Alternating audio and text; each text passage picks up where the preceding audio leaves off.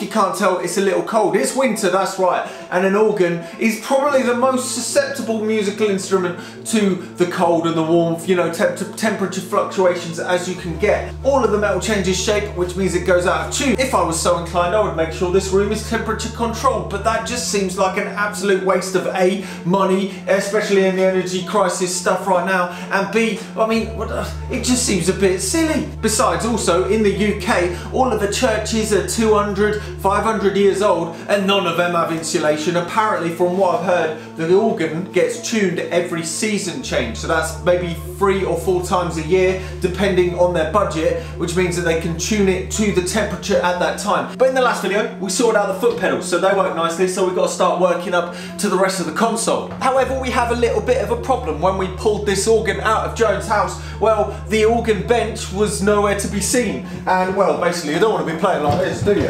On a chair. So we've got to either find or make an organ bench first. Making one will be quite simple, but there's something inside me that really wants a proper original organ bench. So let's have a look on eBay, shall we? I found this organ bench on eBay, 35 quid, not bad. But for some reason, I thought Knaresborough was down the road. After purchasing it, getting the address and stuff, I suddenly realised that Knaresborough wasn't just down the road, no, it was 300 miles away.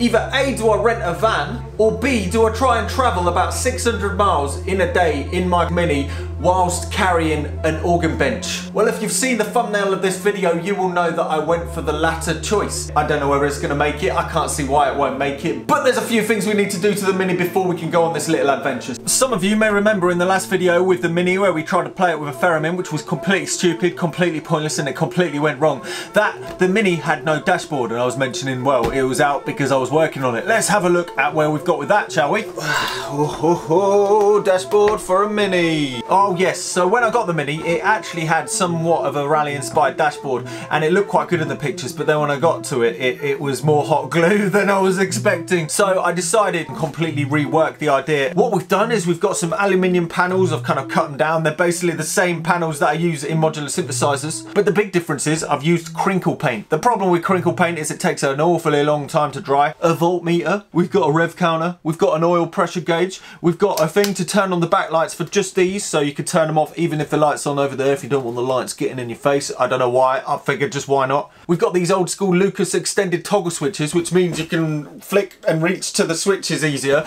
There's one for heater, there's one for demist, that's another thing we'll talk about at some point. We've got one for the spotlights. We've got a short one for hazard because the Mini is at an age where it didn't have hazard lights. It's only got indicators. So we're going to have to make up a little circuit, couple of diodes, and that'll be the hazard light. We're not going to do that in this video. We're just to get this bolted in so we can get over to Knaresborough as quickly as possible. Around the back it's not the neatest, that's because I found to keep it tidy then you reduce the ease of troubleshooting. Don't want to be on the side of the road snipping wax lacing out and stuff like that. Anyway, before we embark on this journey, it'll probably be a good idea to fit this so we know uh, how much fuel we've got left. It's not that cold. Look, i am not wearing gloves. It's quite nice. But I've looked at the forecast and 300 miles away, it is a bit snowy and icy. So it's going to be a fun day. Well, it's all right. To be honest, the last couple of weeks, whilst it's been raining, I've been underneath here cleaning all of the bottom of it, all of the undersills and the bits that look a bit questionable.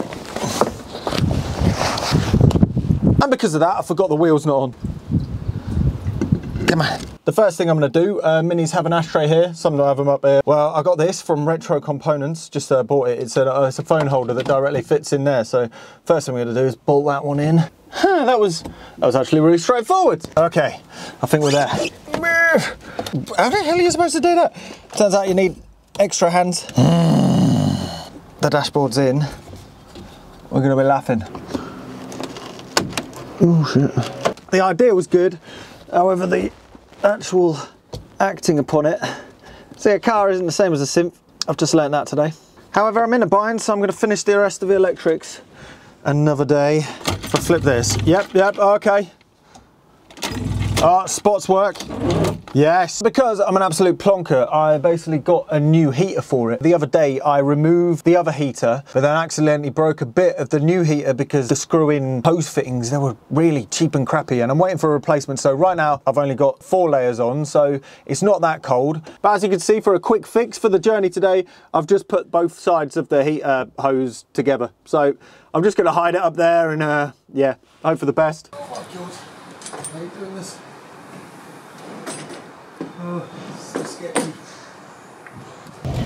The first leg of the journey. All I know is I've got the roof rack on. The speedo has stopped working since I put it back in the dashboard. Nope, the speedo's not working. Done about five miles so far. The speedo cable doesn't work. A bunch of the dashboard doesn't work, but I, would, I did it in a rush. And also, uh, this uh, the indicator bulb has gone out, so we're gonna swap that. Pull the choke out.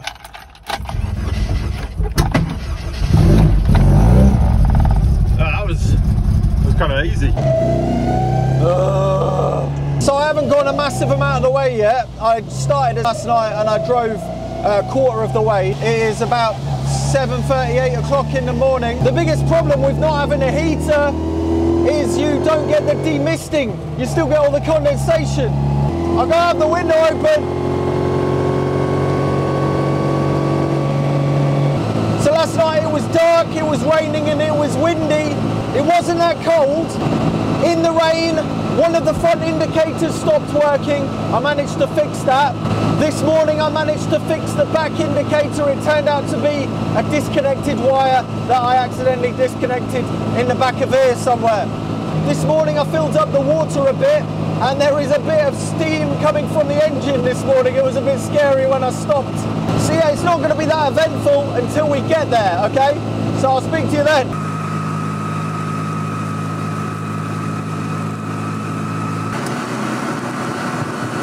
It's a good day though, it's nice weather. I'm an hour off now. I've got earplugs in because it does get a little bit annoying after a while, the, the noises.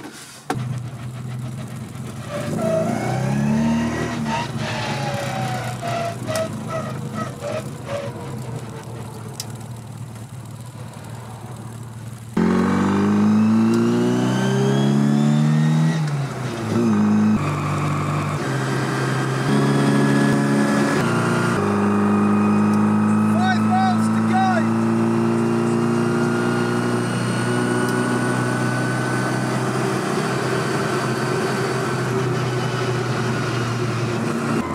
Lovely.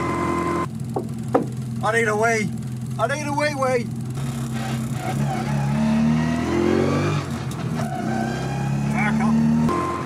We're going to Desborough. Hey, hey, hey.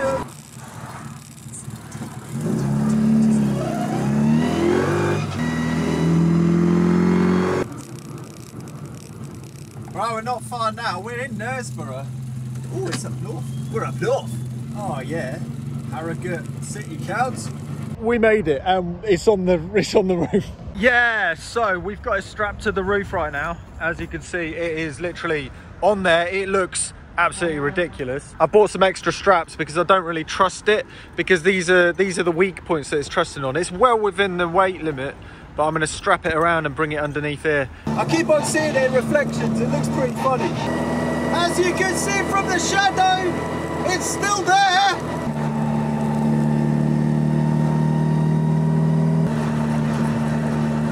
Feels exactly the same. I think it's because it's only about 15 kilograms.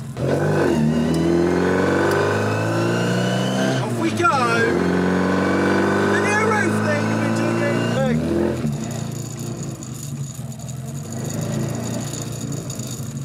We're all right, we're halfway. We've got about five hours of driving left and it's not bad. Nice and tight. I've got two going through the inside. That's all right, that's all right. And I've got two that are strapped to the roof rack. So even if the roof rack has a bit of an iffy, well, it's not gonna come off. That's nice and tight. I've got two hours and 120 miles to get halfway and then another 120 miles to get to get back. So yeah.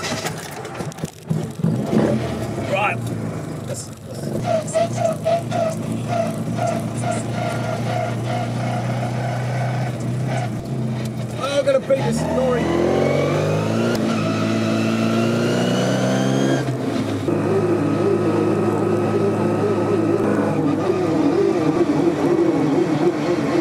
Oh, yeah.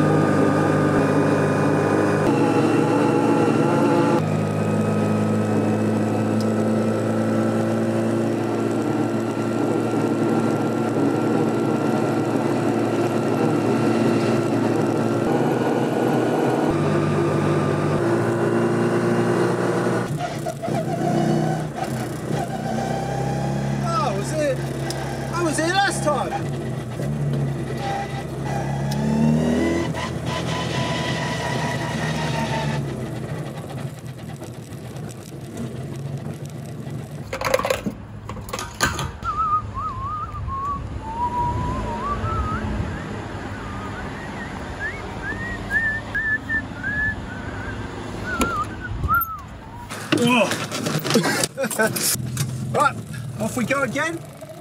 Off we go again.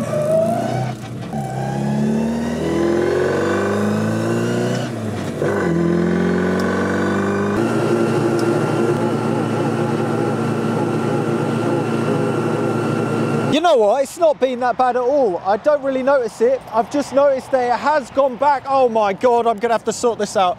Well, I'm glad I stopped. I'm gonna have to tighten that up. I've got about 200 miles to go. I'm gonna tighten that up.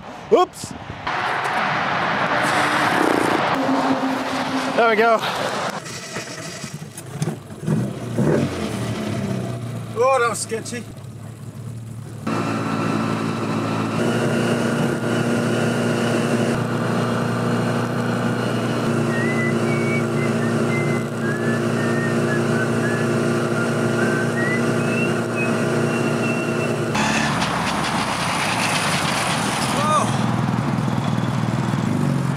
We've got about 120 miles left to go. It's going to start getting dark soon, so as you can see, it's still up there. See you in a bit.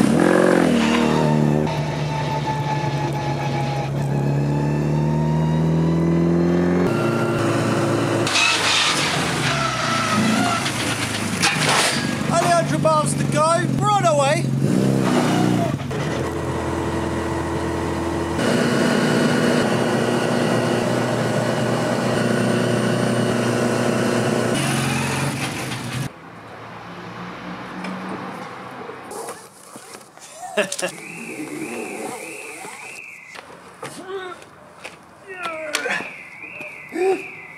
Right, here we go. One organ stool that cost three times as much to get it as much as it costed in the first place. However, sadly, the side that was facing the front, a uh, handful of flies decided to fuse themselves to it. So, um, so rest in peace, my friends. You will be remembered. Oh yeah! Oh, the keyboard's gonna be so good. Right, let's give it a go.